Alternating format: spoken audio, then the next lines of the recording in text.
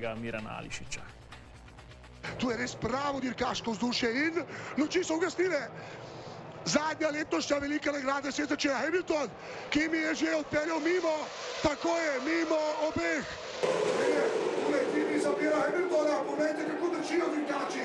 Ki mi je zaprl Hamiltona, Alonso je tule že mimo Hamiltona. Fernando Alonso Hamilton se zaveda, da gre za vse minut. Spustil je tri dirkače predse, tudi Alonsa, Masa. Uh, poglejte, uh, to se je začelo.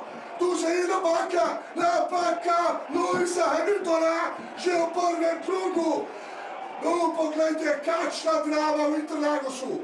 To smo malce tudi pričakovali. In zdaj je Hamilton že v gneči. Masa, Rajtone, Alonso. Alonso je zdaj v tem uvodnem delu pokazal živce. Lewis Hamilton je nekje v zlati sredini, potem ko je naredil napako, že vam mislim, da kurvi del sol.